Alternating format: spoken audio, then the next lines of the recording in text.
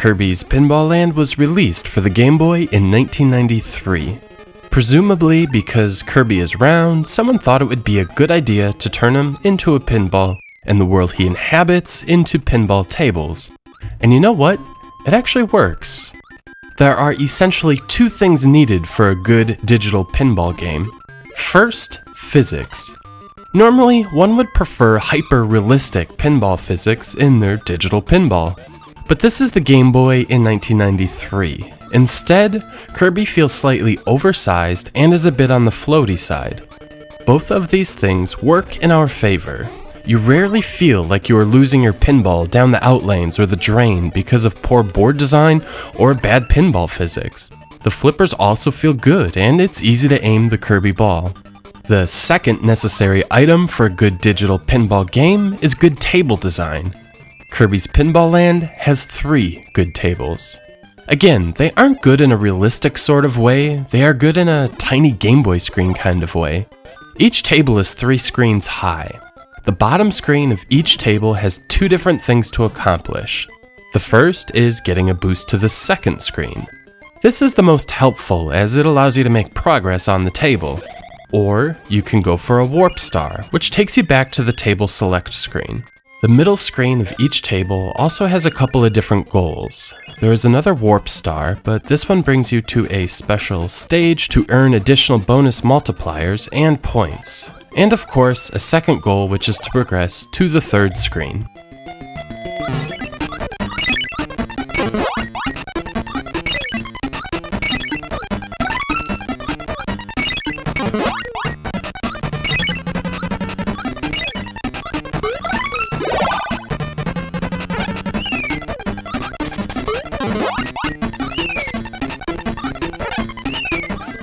These middle screens are imaginative. Here, you have to hit the cloud a certain amount of times, and when you do, the cloud will start raining.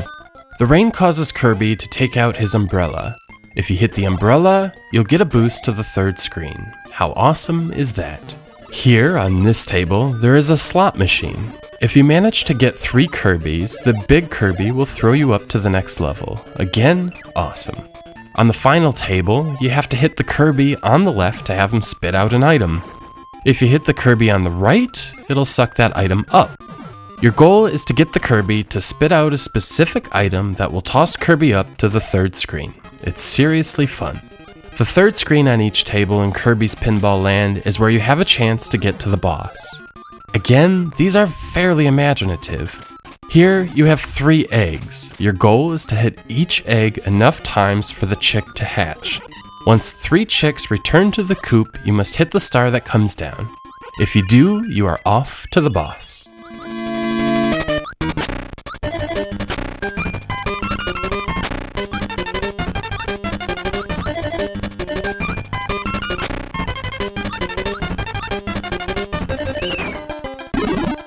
On this table, you must hit the sun a certain amount of times, which will then change the playfield to night. You must then hit the moon enough times for the boss star to make an appearance. Hit that star, and you are, again, off to the boss. I find the table designs in Kirby's Pinball Land to be incredibly imaginative and incredibly fun.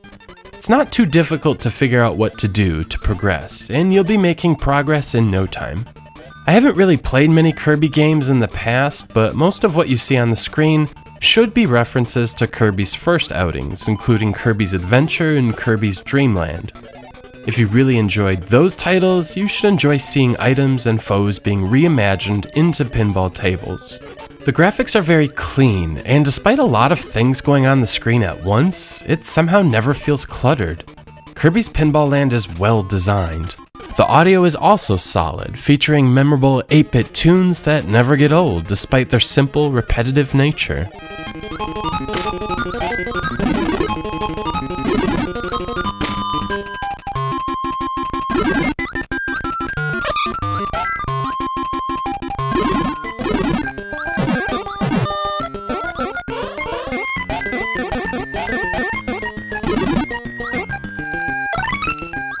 As an interesting side note, this game was released two years before the Super Game Boy debuted, but most definitely has a custom color palette as you see in the video. Kirby's Pinball Land excels at being a fun digital pinball title. It's a very accessible game for those new to the genre. Pinball fans should enjoy the well designed tables and solid controls. Non pinball fans should enjoy the non traditional rule set and familiar Kirby settings. If you're looking for a new 8 bit gem to add to your collection, be sure to check out Kirby's Pinball Land.